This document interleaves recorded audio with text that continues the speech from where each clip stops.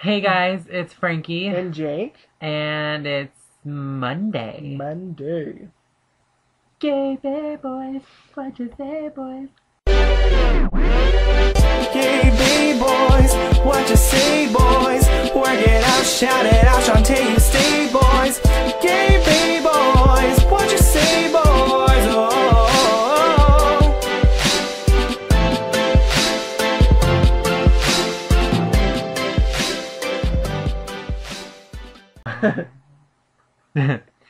okay, so Jake and I are going to talk about top news of the week. The mm-hmm. first story being Arnold Schwarzenegger's baby.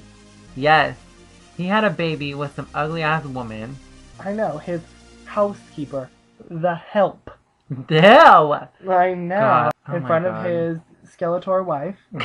And Doesn't that skeleton have the nerve to show up somewhere with Oprah looking all good? I know. Trying to look good anyway. She looks like a skeleton with a wig on. Uh, and he's fucking ugly. you probably got steroid balls. no, what the fuck? So, anyways, Lady Gaga's album comes out today, Mm-hmm. I guess.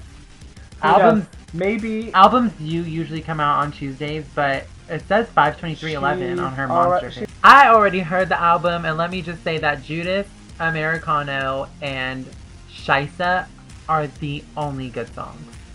Lies. Lies. Lies, I tell you. He's more of a Gaga fan than I am. I'm a I love Gaga. huge Gaga She's a great performer, but I just am not a fan of this album. I think it's different from the fame. It's it's an The evolution, you know. It's more and it's different. She said it's different. She said it's more arena like.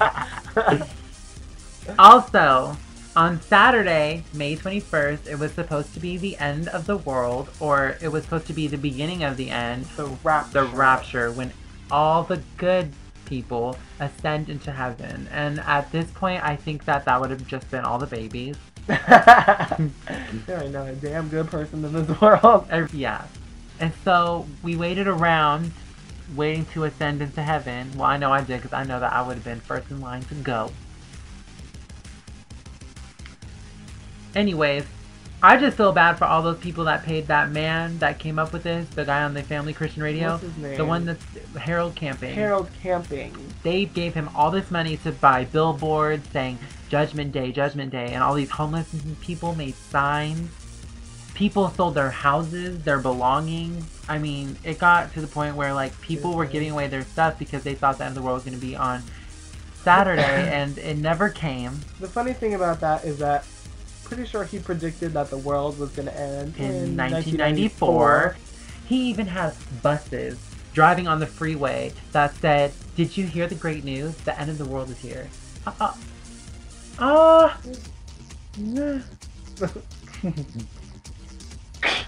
oh.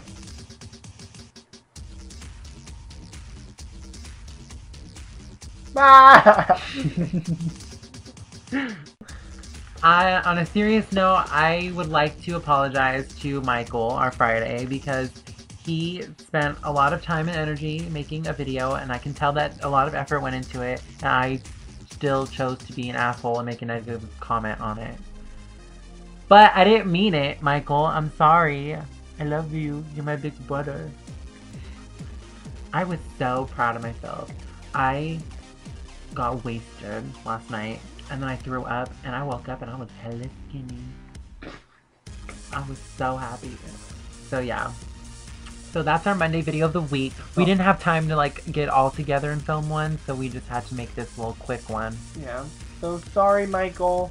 I know, Michael. I really apologize. I feel bad. I didn't mean to hurt your feelings. Love. Mwah.